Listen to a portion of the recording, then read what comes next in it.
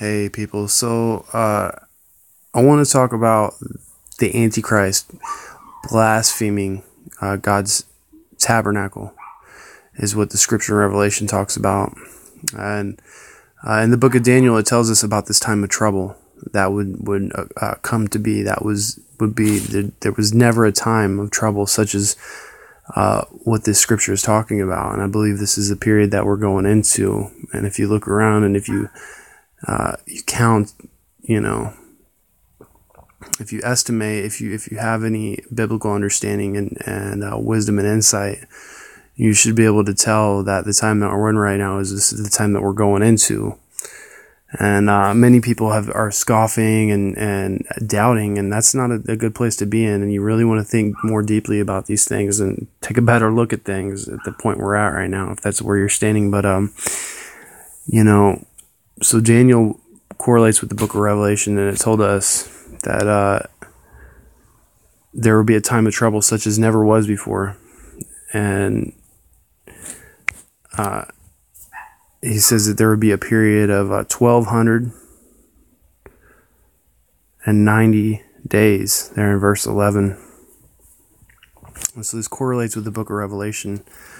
That's about 42 months and uh, and so in, in, verse 5 here in revelation it says that uh, there was a, a, mouth speaking great things and blasphemies was, and power was given unto him right the antichrist 40 and two months, right? Three and a half years. And he opened, opened his mouth in blasphemy against God to blaspheme his name and his tabernacle and them that dwell in heaven. So this world leader is going to come on the scene and there's going to be a global government that is going to uh, cover the whole flat earth. And uh, this leader is going to blaspheme the Most High God, right? who wrote the Bible, who authored the Bible, and his tabernacle. So, what is his tabernacle? Well, other scriptures make mention of this, and uh, God said in Ezekiel 37 that He would. Uh, he, I will place them and multiply them. and I will set my sanctuary in the midst of them forever. Okay, so my tabernacle also shall be with them. Yea, I will be their God, and they shall be my people. And the heathen shall know that I, the Lord, do sanctify Israel, and my sanctuary, sanctuary shall be in the midst of them forever. So, what is this talking about? He's saying he's going to place his tabernacle uh, in the midst of us, right? And the heathen would know it. David, this is something that has actually happened. Uh, I don't know exactly how many, but numerous times in the past, at certain points in time when the wickedness on earth uh, was exceeding uh, you know, in the time of trouble, David spoke about it here in Psalm 27. You know, when the wicked, even my enemies and my foes, came upon me to eat up my flesh, they stumbled and fell. Though a host should encamp against me, my heart shall not fear. Though war should rise against me, in this will I be confident. One thing have I desired of the Lord that I will I seek after, that I may dwell in the house of the Lord all the days of my life, to behold the beauty of the Lord and to inquire in his temple. For in the time of trouble he shall hide me in his pavilion. In the secret of his tabernacle shall he hide me. He shall uh, set me upon a rock, and now shall my head be lifted up above my enemies round about. Okay, therefore will I offer in his tabernacle sacrifices of joy. So there's a little bit more to the clue here, right? Now, um, you know, what is this talking about? So this the Antichrist is going to blaspheme God's name and his tabernacle, but he said he would set it among the heathen. And so uh, the the book of uh, Ezekiel 37 and 38 I'm sorry 38 and 39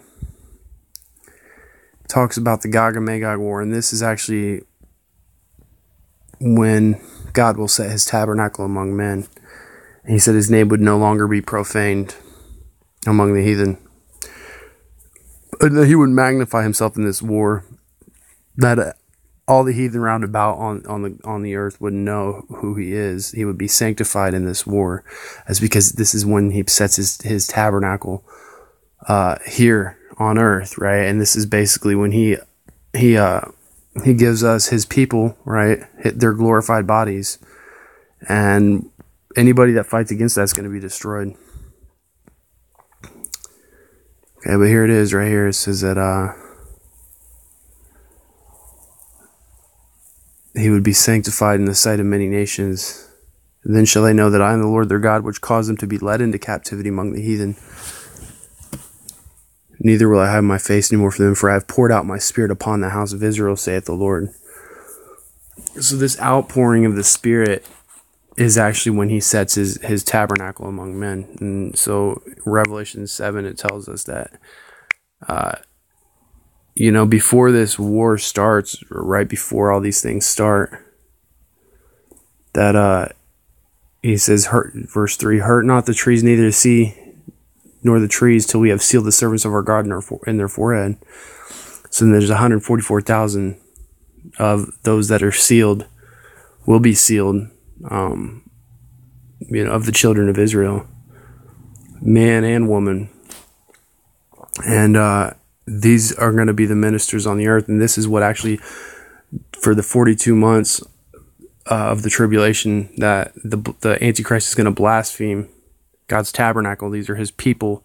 He's going to be blaspheming God's people, his children here on earth. And uh, many people, the, the people that reject the Lord, are going to worship the Antichrist and actually fight against God's kingdom. And this is actually this is judgment on them, and God is going to allow this to happen um, because they've rejected Him and rejected truth and didn't and, and chosen lies over truth. And so, um, I just want to make that clear. Right, is that Scripture? It, it, it tells us all these things, but it's kind of spread out through all through the whole uh, the whole the whole book. It gives us clues here and there. You know, so we just said that they told them to wait till the servants were sealed in their forehead. You know, look what this says here, right? He prepares a table before me in the presence of my enemies. He anoints my head with oil and my cup runs over.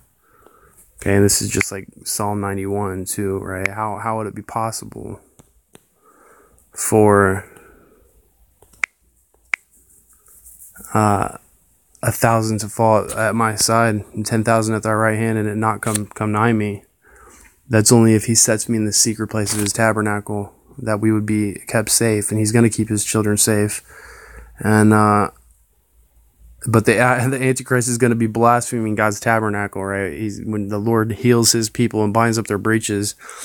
The hundred forty four thousand, he's, uh, you know, the Antichrist is going to be slandering, you know, their sonship and, and everything about them. But the Antichrist is obviously a liar. And, and, uh,